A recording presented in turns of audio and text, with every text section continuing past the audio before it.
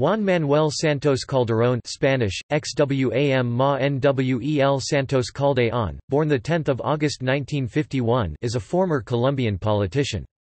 From 2010 to 2018, he was the President of Colombia.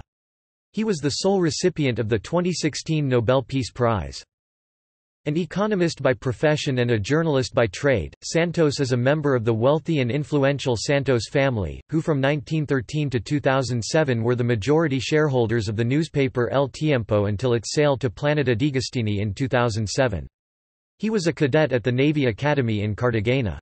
Shortly after graduating from the University of Kansas, he joined the National Federation of Coffee Growers of Colombia as an economic advisor and delegate to the International Coffee Organization in London, where he also attended the London School of Economics.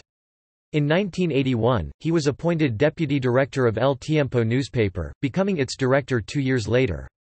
Santos earned a mid-career, Master's in Public Administration in 1981 from Harvard Kennedy School HKS and was a 1988 Nieman Fellow for his award-winning work as a columnist and reporter. Santos was a Fulbright Visiting Fellow at Fletcher at Tufts University in 1981. Santos served as a member and vice chair of the Washington-based think tank the Inter-American Dialogue and was president of the Freedom of Expression Commission for the Inter-American Press Association. In 1991, he was appointed by President Cesar Gaviria Trujillo as Colombia's first Minister of Foreign Trade. Santos worked in expanding international trade with Colombia, and worked in creating various agencies for this purpose including, ProExport, Bancoldex and Fiducoldex. In 2000, he was appointed by President Andrés Pastrana Arango as the 64th Minister of Finance and Public Credit. Santos rose to prominence during the administration of President Álvaro Uribe Vélez. In 2005, he co-founded and led the Social Party of National Unity Party of the U, a liberal conservative party coalition that backed the policies of President Uribe, successfully supporting his attempt to seek a constitutional reform to be able to run for a second term. In 2006, after Uribe's re-election, when the Party of the U won a majority of seats in the two chambers of Congress, Santos was appointed as Minister of National Defense, and continued defending the security policies of President Uribe, taking a strong and forceful stance against FARC and the other guerrilla groups operating in Colombia. Santos also created the Good Government Foundation. In 2010, Santos won the presidential election as the protégé of his predecessor Álvaro Uribe Vélez. However, some months after Santos' possession, Uribe became his strongest opponent, who also founded, three years later, the opposition party Democratic Center.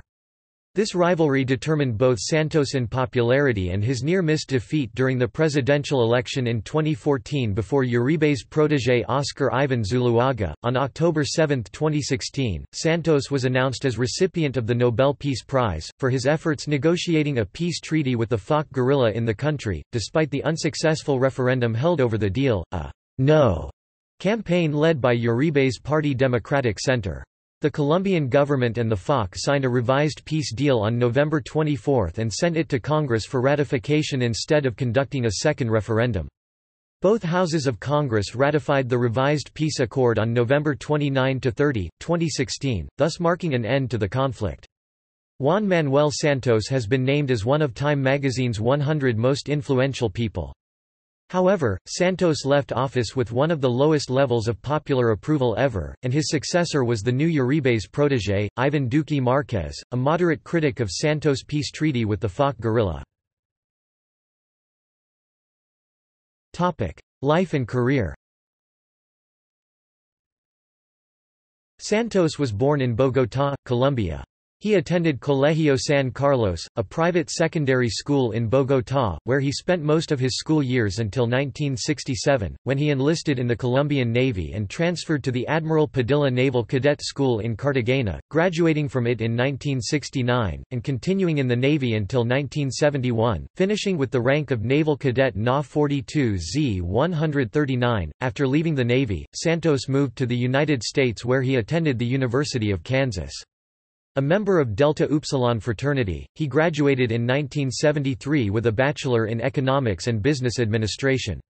On October 31, 2017, Santos received an honorary doctorate of human letters from KU. After graduating from the University of Kansas, Santos served as chief executive of the National Federation of Coffee Growers of Colombia to the International Coffee Organization in London. During this time he also attended the London School of Economics, graduating with a Master of Science in Economic Development in 1975. He then attended the John F. Kennedy School of Government at Harvard University, graduating with a Master of Public Administration in 1981. He returned to Colombia to become deputy director of his family-owned newspaper El Tiempo.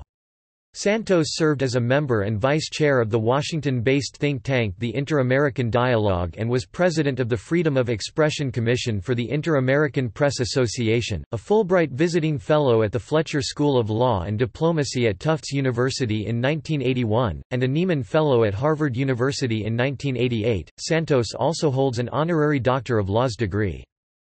He was Minister of Foreign Trade of Colombia during the administration of President Cesar Gaviria Trujillo from 1991 to 1994, Minister of Finance and Public Credit of Colombia during the administration of President Andrés Pastrana Arango from 2000 to 2002. In 1992 he was appointed President of the Eight United Nations Conference on Trade and Development. In 1994 Juan Manuel Santos founded the Good Government Foundation, whose stated objective is helping and improving the governability and efficiency of the Colombian government. This organization presented a proposal for a demilitarized zone and peace talks with the FARC guerrilla group. Juan Manuel Santos has been named as one of Time magazine's 100 most influential people. Universidade Nova de Lisboa is granting the honoris causa doctorate title to Juan Manuel Santos. Minister of Defense Santos also founded the Social National Unity Party, Party of the U to support the presidency of Álvaro Uribe. He was named Minister of Defense on 19 July 2006.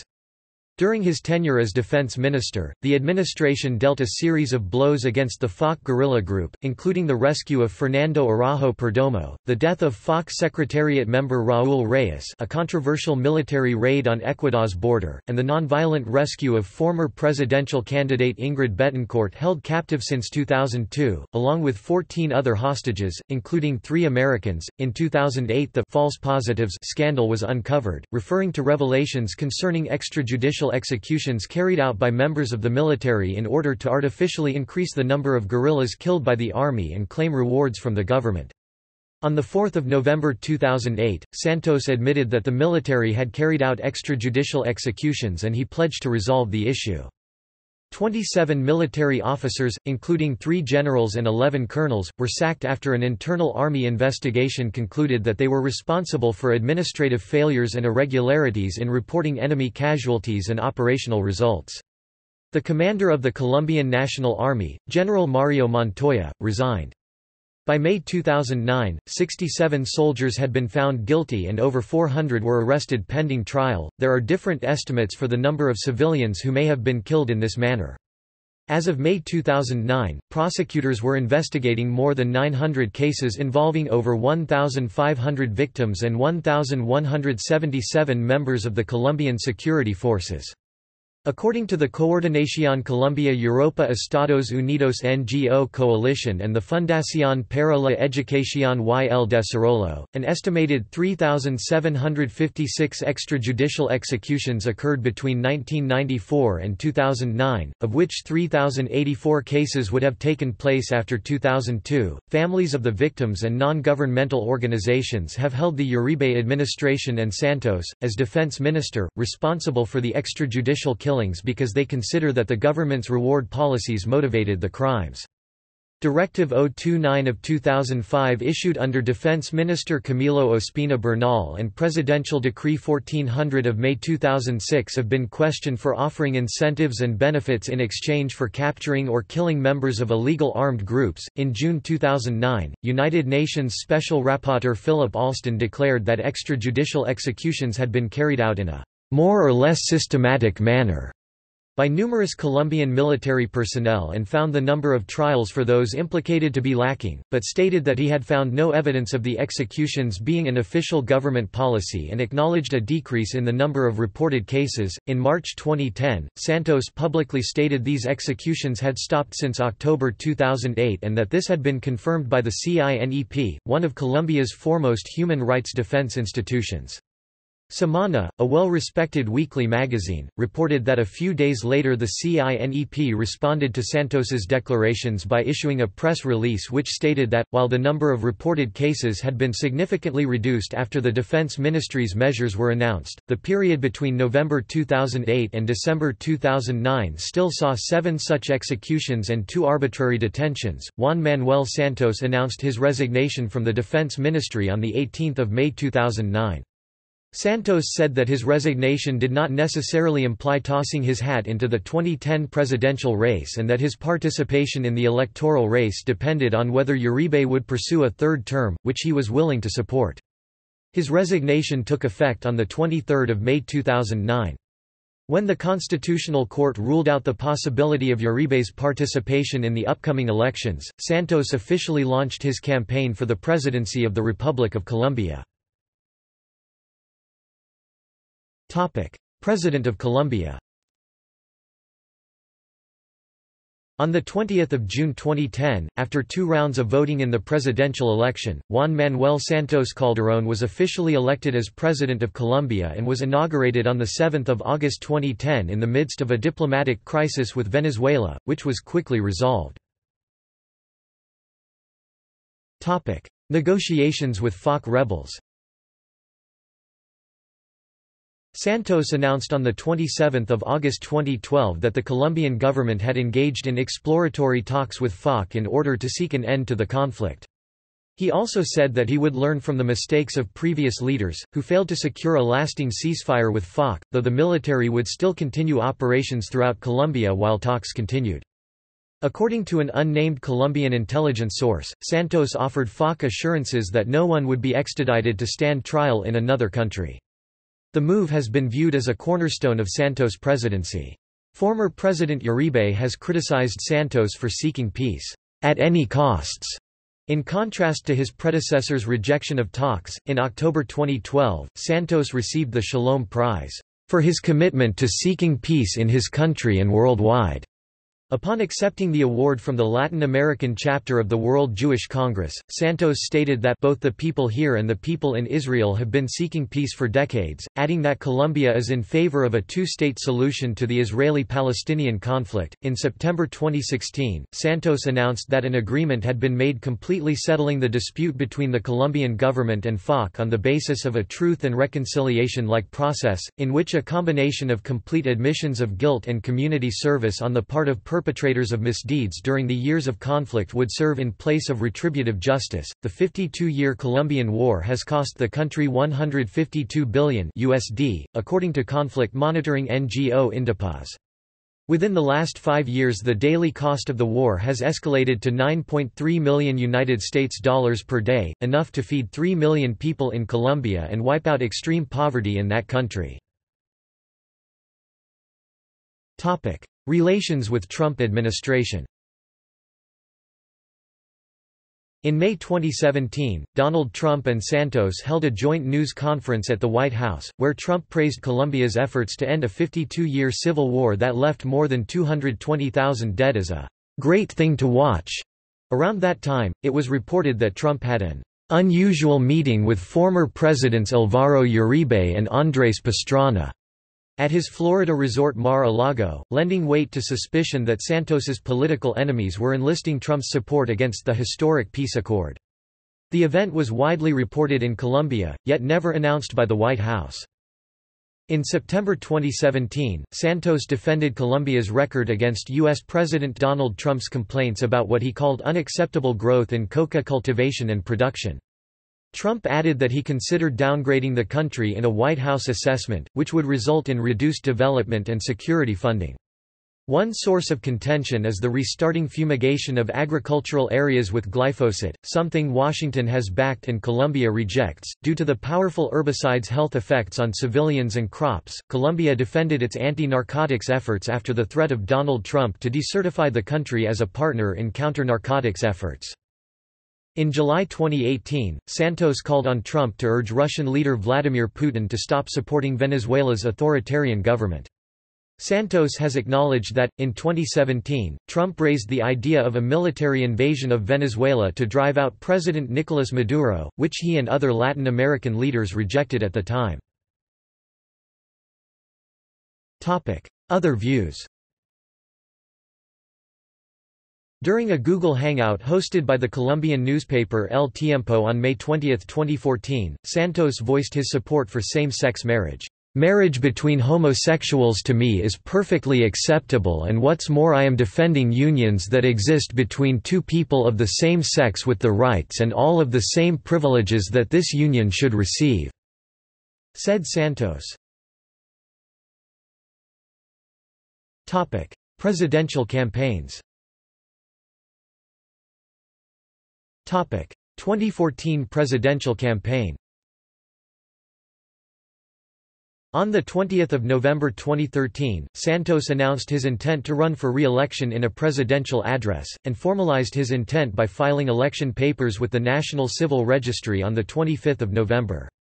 As the incumbent president he ran virtually unopposed in the Social Party of National Unity Convention, receiving 772 votes of the 787 party delegates, and receiving the party's nomination on 28 January 2014. Santos and his allies also lobbied for the support of other political parties, receiving the nomination from the Liberal and Radical Change parties, forming the National Unity Coalition. On 12 March Santos officially launched his re-election campaign for the 2014 presidential election under the slogan, "'We have done much, there is much to be done'". On 24 February, Santos announced that the running mate for his 2014 re-election campaign would be as German Vargas Lleras, a veteran politician from one of Colombia's most powerful political dynasties, and his former Minister of Housing, City and Territory. The decision to replace Vice President Garzón as his running mate was an expected one, as Garzón had already announced his desire to retire from politics.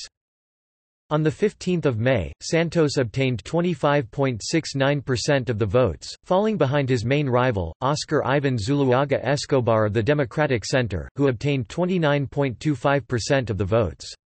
Since no one candidate earned the required majority, a runoff election was announced.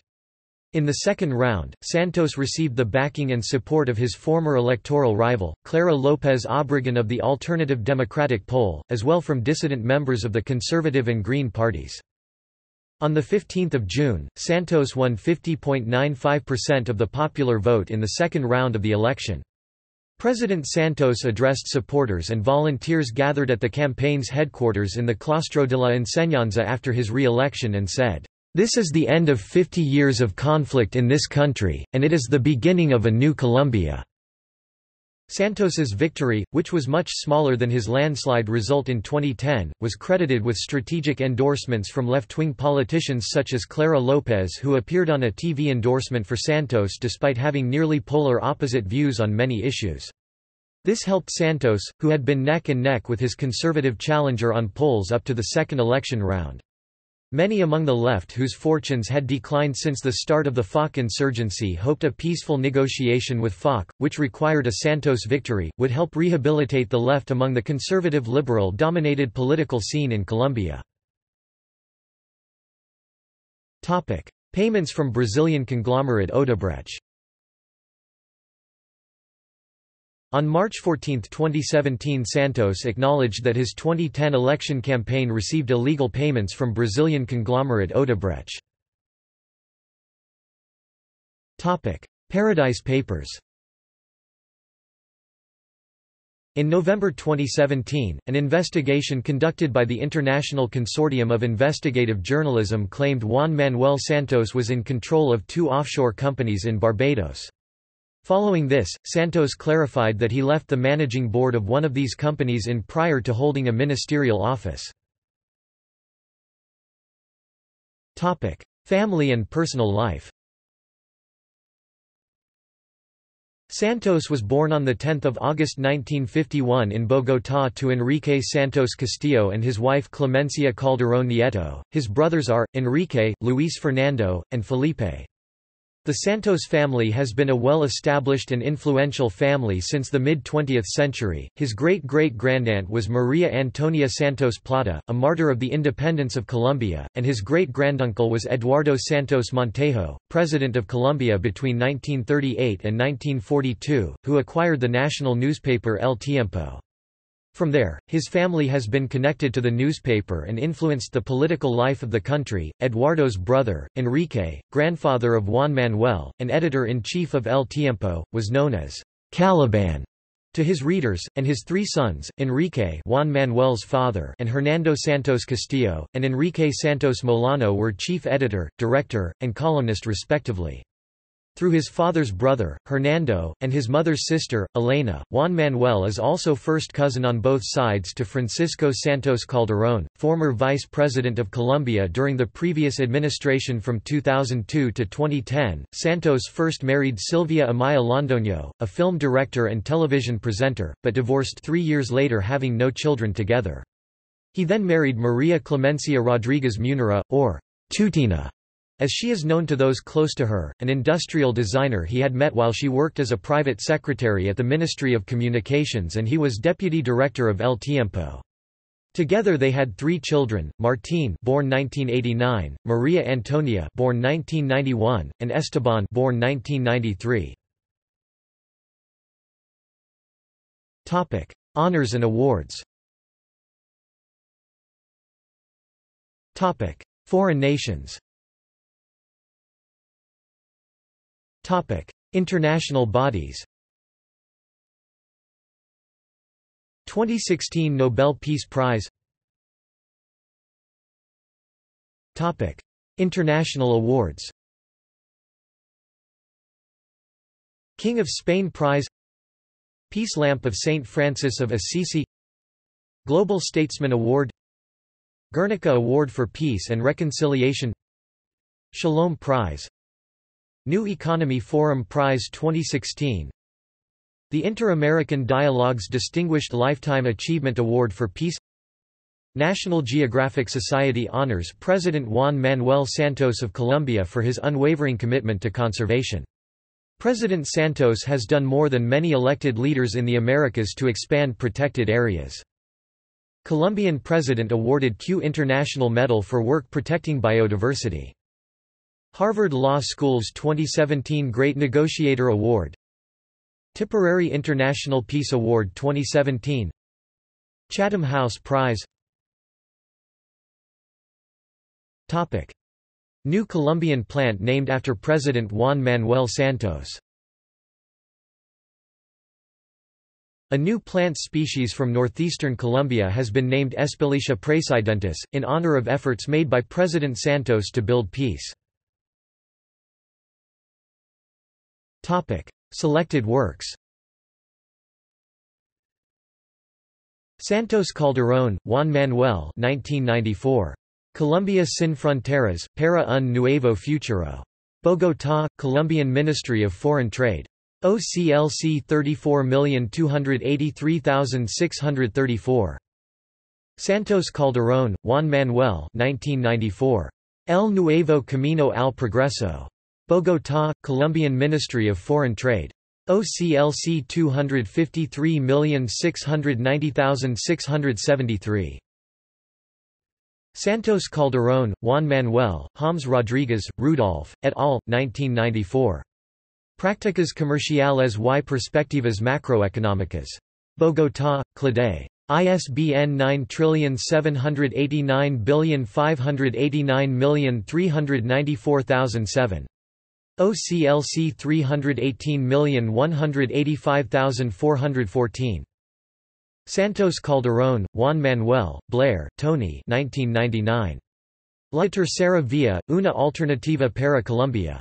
Bogotá, Aguilar. ISBN 9789588061313.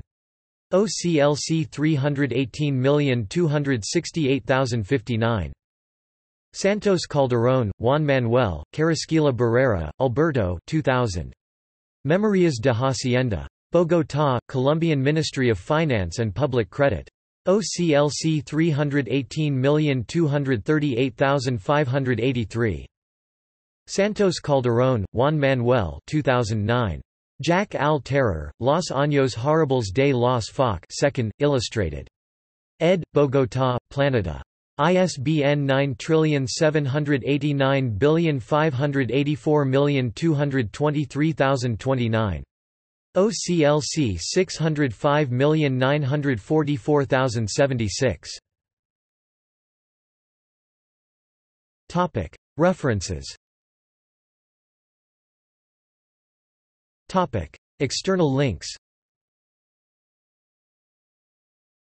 Presidencia de Colombia Biography Biography at Colombia Reports Biography at CIDOB Foundation Appearances on C-SPAN Juan Manuel Santos collected news and commentary. The New York Times. Taking Colombia to the Next Level, Latin Business Chronicle, 9 August 2010.